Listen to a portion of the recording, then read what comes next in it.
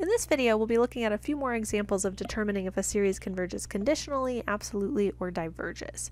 Here we have the sum from k equals 1 to infinity of negative 1 to the k plus 1 times k to the 2k all over k factorial times k factorial. So first we want to think about what kind of test we might be able to use on this particular series. So we notice where I have this k to the 2k, this is some sort of exponential term. And I have this k factorial, k factorial down here, so I definitely have some factorial terms involved. So we know that when I see something that has something that's exponential, whether it's k to the k or like 2 to the k, or when I have factorials involved, I want to try to use the ratio test. Okay, now we know that if the ratio test can be applied to a particular series, um, then that series will either converge absolutely or diverge. It won't um, converge conditionally because with the ratio test, we are already looking at um, the absolute value of the ratio of the terms. So if we're going to try the ratio test, I'm going to look at the limit as k goes to infinity of the absolute value of ak plus 1 all over ak. Okay, so we want to make sure we have our absolute value bars in there, and then that we um, correctly write down what our ak plus 1 is over our ak. So ak plus 1 will mean wherever there's a k, I replace that with k plus 1. So we have negative 1 to the k plus 1 plus 1, so this is to the k plus 2. Then I'm going to have k plus 1 to the 2 times k plus 1. So it's really important to remember our parentheses here. This is all over k plus 1. Oops, excuse me. This is k plus 1 factorial times k plus 1 factorial. And we know this is divided by our ak. Remember, ak is exactly the term that I was um, given in my series.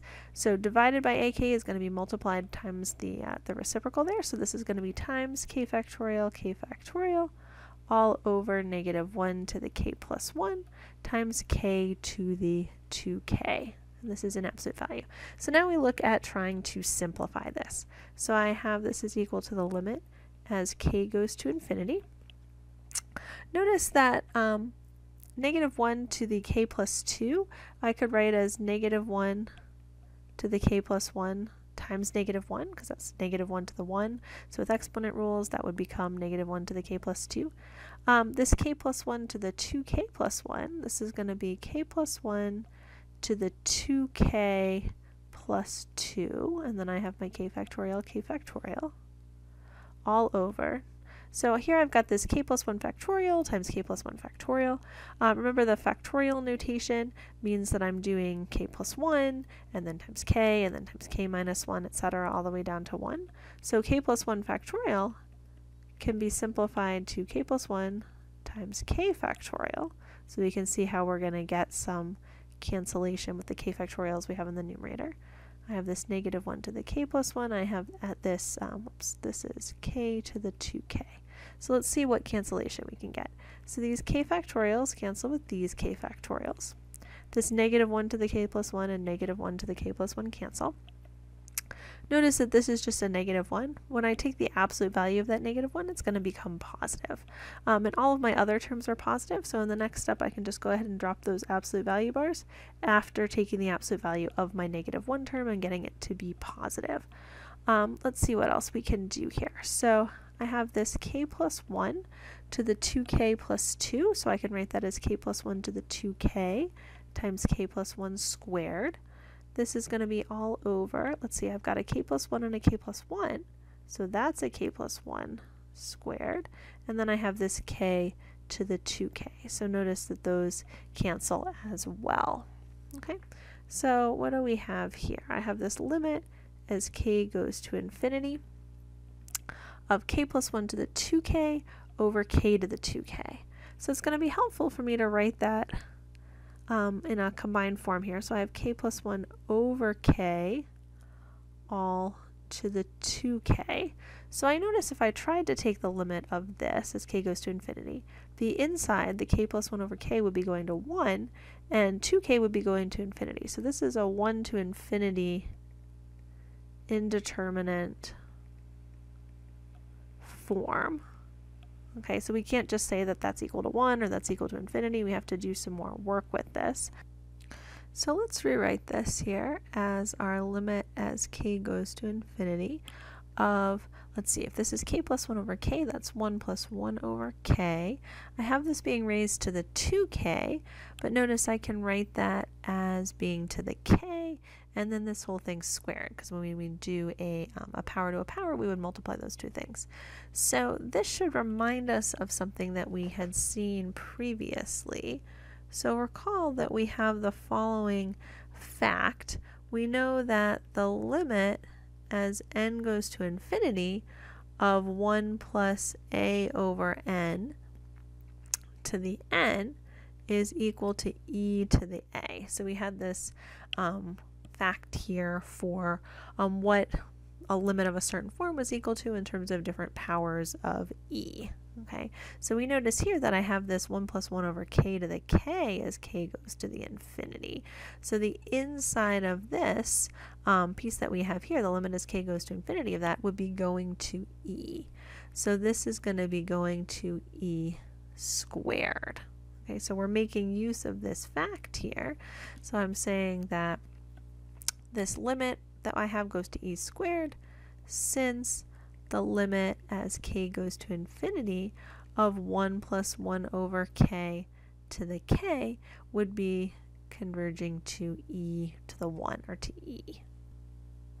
Okay, so since we got for our limit as k goes to infinity of this absolute value of ak plus 1 over ak was um, equal to e squared, we can say that since our e squared here is bigger than 1, the series in this case, our sum from um, k equals 1 to infinity of negative 1 to the k plus 1, k to the 2k over k factorial, k factorial, this series here, k equals 1 to infinity, negative 1 to the k plus 1, k to the 2k, all over k factorial, k factorial, um, diverges Okay, remember we got a value that's greater than 1, so that's similar to the thinking in our geometric series test. We have these, these ratios um, that are going to something bigger than 1, so adding up a bunch of things with the, that ratio that's bigger than 1 means that we have something that diverges. So this series diverges by the ratio test.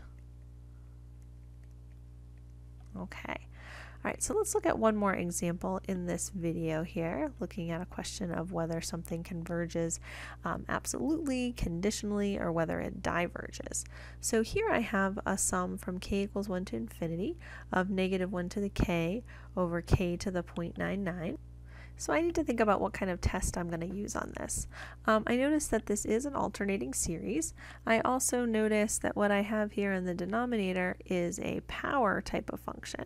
So I don't have something that's exponential. I don't have something like 2 to the k um, or k to the k, and I don't have something that's a factorial. So um, we know that when I have something that's a power type function only, and it's not multiplied times a factorial or an exponential thing, um, I don't want to use the ratio test. Because in those situations where I just have something that's made up of power type functions, my ratio test is going to be inconclusive. So let's just look briefly at why. If I tried the ratio test, I'd have the limit as k goes to infinity here of my absolute value of ak plus 1 over ak being equal to the limit as k goes to infinity. Um, to have this negative 1 to the k plus 1 over k plus 1 to the 0.99 divided by my ak, so that'll be times k to the 0.99 over negative 1 to the k. This is all an absolute value. Okay, so the fact that I have this negative 1 power and this other negative 1 power, um, negative 1 to the k plus 1 over negative 1 to the k would just be negative 1, but the absolute value of that would just be 1. So I'm going to have this limit as k goes to infinity here of k over k plus 1 to the 0.99. Well, I can see that k over k plus 1 as k goes to infinity is going to 1. 1 to this 0.99 power is just going to be 1. So we know in that case the ratio test is inconclusive. Okay, so just by saying, okay, this is a power type function, I don't want to use the ratio test, I wouldn't have had to do out all that work, but we just did that just to show ourselves why um, ratio test wasn't going to be useful here. So instead, I need to follow my um, procedure here of how do I determine if something's absolutely convergent or conditionally convergent? Well, first I look at the sum of the absolute value. Okay, we know that we didn't break it up into um, specifically thinking about that right away with the ratio test because the ratio test is automatically looking at, at absolute value. Um, here I'm going to start by looking at the sum of the absolute value so I can try to determine whether this series is absolutely convergent or not. So I'm thinking of my AKs um, that I have here being negative 1 to the k over k to the 0.99. So my sum of the absolute value of the AKs is going to be a sum from k equals 1 to infinity of 1 over k to the 0.99. So I can see that that's just a nice um, p series here. So this series is going to diverge by the p series test since I have a p-value here of 0.99, which is less than or equal to 1. Okay, so we just showed that the sum of the absolute value is divergent, which means that my original sum here um, is definitely not absolutely convergent. So I just need to figure out if the series is divergent or if it's actually conditionally convergent. So then we'll look at the original sum itself here, which is my sum from k equals 1 to infinity of negative 1 to the k over k to the 0.99. And I see that that is, again, an alternating series with the uh, magnitude of the terms, which I'm going to call bk, being equal to 1 over k to the 0.99. Okay, so that's the, the positive part that doesn't have any sign information in it. So to apply the alternating series test to this, I'd like to be able to show that my bk's go to 0 as k goes to infinity, and that bk plus 1 is less than or equal to bk. So first we can look at that limit piece. So the limit as k goes to infinity of 1 over k to the 0.99. Yep, that's going to 0, so we have that condition. Notice that bk plus 1 would be 1 over k plus 1 to the 0.99. So I want to be able to show that bk plus 1 is less than or equal to bk. So I can't just state it, but I can say that for k greater than or equal to 1, it's definitely true that k plus 1 is bigger than or equal to k. And then if I raise both sides of my inequality to that 0.99 power, that preserves my inequality. And then if we do the reciprocal of each side, well, that's going to flip that inequality. Okay, so I do in fact have bk plus 1 less than or equal to bk like I want. Okay, so I can say, so my series here does converge by the alternating series test. Okay. So remember when we're doing showing that something is conditionally convergent, we have three steps. The first step was showing that the sum of the absolute value um, was actually diverging. Here now I've shown that the my um, series itself, my sum of my AKs, converges by the alternating series test. So my final conclusion here would be that so this series here, k equals 1 to infinity of negative 1 to the k over k to the 0.99, is conditionally convergent. Okay? So we want to be careful when we're making our final conclusion. We would not say that the series is conditionally convergent by the alternating series test. The series is conditionally convergent because the sum of AK converges, but the sum of the absolute value um, does not converge. So this is because, basically because of our work in steps one and two, our sum of this here converges and the sum of 1 over k to the 0.99 diverges. So when you're having your ultimate conclusion of conditional convergence, that's not by a single test. Something can't be conditionally convergent by just one test. It's conditionally convergent because you have some information about two different series where your sum of your AKs converge, but your sum of the absolute value of your AKs diverge.